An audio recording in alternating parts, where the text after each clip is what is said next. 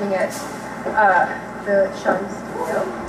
And uh, we'll see you on our next location. It's important to note that the last scene that you just saw is part of a montage, so it's going to be cut and recut. And I hope you enjoyed our film today. We'll see you at location number two.